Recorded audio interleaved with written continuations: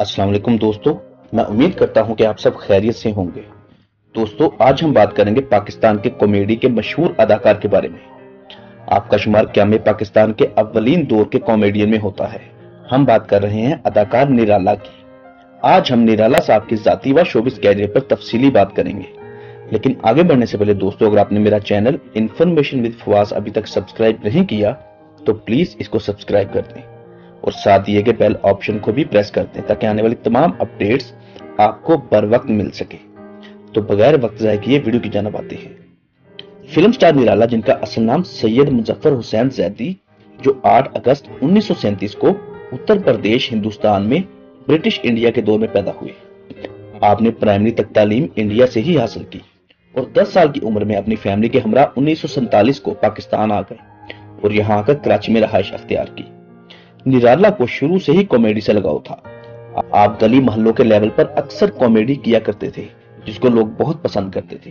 آپ اپنے علاقے واقعہ ایبیسینیا لائنز میں مشہور ہو گئے۔ آپ نے میٹرک تک تعلیم کراچی سے ہی حاصل کی۔ کامیڈی کے ساتھ ساتھ آپ کو روزگار کی بھی تلاش تھی۔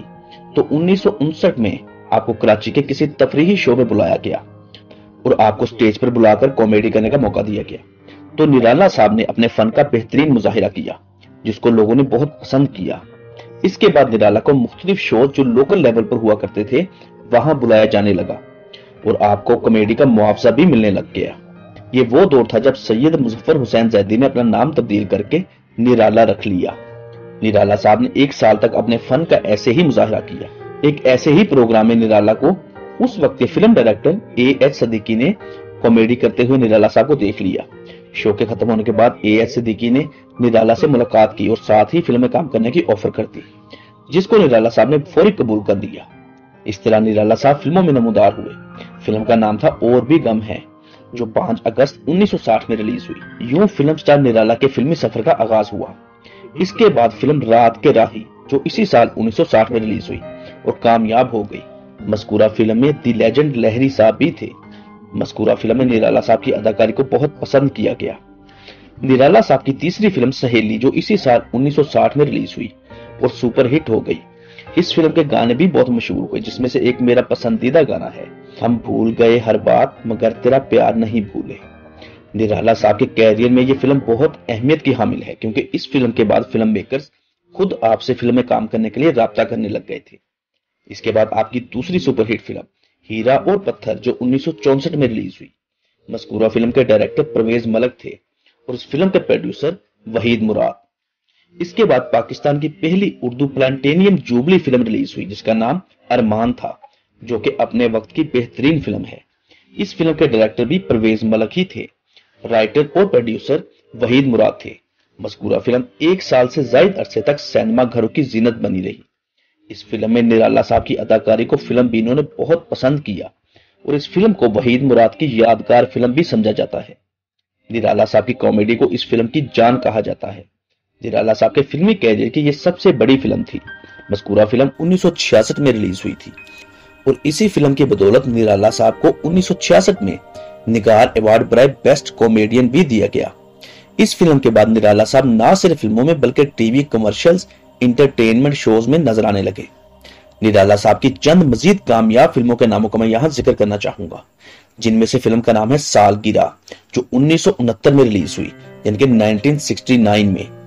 فلم سبق، جو انیس سو بہتر میں۔ فلم نادان، جو انیس سو تہتر میں۔ فلم آئینہ اور سورت انیس سو چوہتر میں۔ اور فلم تیرے میرے سپنے، جو انیس سو پچہتر میں ریلیز ہوئی۔ فلم سٹار نرالا نے مجموعی طور پر اسی کے قریب اردو فلموں میں کام کیا۔ آپ کی تمام فلمیں اردو زبان میں ہی ہیں۔ صرف ایک فلم پنجابی زبان میں تھی۔ اس فلم کا نام تھا نواب زادہ۔ مذکورہ فلم بھی ایک کامیاب فلم تھی۔ لیکن زبان کی ناپختگی کی وجہ سے نرالا صاحب پنجابی فلموں میں زیادہ کامیابی حاصل نہ کر سکے۔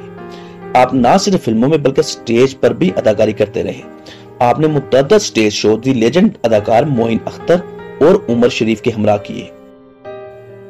آپ کو پورے ملک سے پرائیویٹ پارٹیز میں بھی بلایا جاتا تھا، کیونکہ آپ ایک بہترین انٹرٹینر تھے۔ ستر کی دہائی میں آپ نے کسی انڈین خاتون سے شادی کی، جس میں سے آپ کے بچے بھی ہوئے۔ فلم سٹار نرالا پان بہت کھاتے تھے اور اسی عادت نے آپ کو موت کے منہ میں پہنچایا۔ پان کھانے کی وجہ سے آپ کے جگر کو بہت نقصان پہنچا اور اسی وجہ سے اسی کی دہائی کی شروعات میں آپ کی طبیعت آپ نے اپنا فلمی سفر من اور مورخہ نو دسمبر انیس سو پچاسی کو صرف اڑتالی برس کی عمر میں آپ اس دنیا سے رخصت ہو گئے۔ آپ کی آخری فلم جس کا نام چوروں کا بادشاہ، جو آپ کے مرنے کے تین سالوں بعد ریلیز ہوئی۔ آپ کو کراچی میں ہی سپرد خواہ کر دیا گیا۔